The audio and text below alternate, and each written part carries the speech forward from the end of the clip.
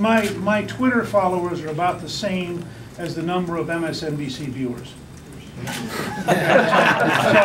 so I'm, I'm perfectly happy to play, you know, I think we're gaining ground. I think, watch, watch the viral nature of tonight's debate. Many people watch it in ways that don't fit any of the old-time media's understanding of how America now works. I'm, I'm very happy with where we are. With uh, Mitt Romney for second place, uh, with Herman in first place, and around the country, I'm pretty consistently now seen in, th- in third place and, and moving, which is a long way from where I was a month ago. I'm, I'm very happy. The first vote's January 3rd. Uh, and I think we're moving and we're moving in the right direction, and I think it's because I run a campaign of substance. I mean, you know, I'm the only candidate who's actually helped balance the federal budget four times in a row, and the only candidate who has actually helped pass an entitlement program, reform program. So, I mean, I'm pretty com- comfortable with where we are and how things are evolving.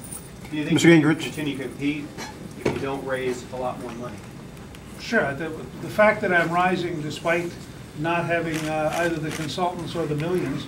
Look, some candidates think that you win the election by going to Wall Street and raising millions of dollars. I think you ultimately reach the American people by having better solutions and